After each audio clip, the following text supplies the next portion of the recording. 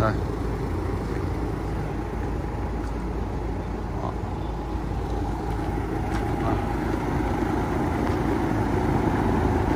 đây, toàn bộ hệ thống vòi composite các bạn đây là đường dẫn lợn ra này, của anh Quy. Đây, các bạn thấy cái nhựa nhựa nhựa nhựa trắng của mình nó sáng cái này, nó yên tâm nhé. Nhìn nó cuộn nó bắt đầu đục đục thôi. Chắc chắn là sáng làm sao đây?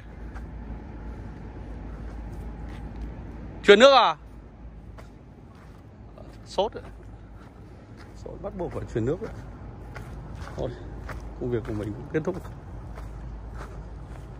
Để hôm nay hơi phê mà mệt đấy.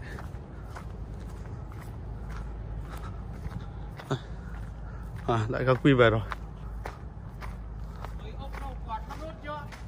À, xong rồi à chưa. Chưa chưa chưa chưa ấy. Chưa mang theo.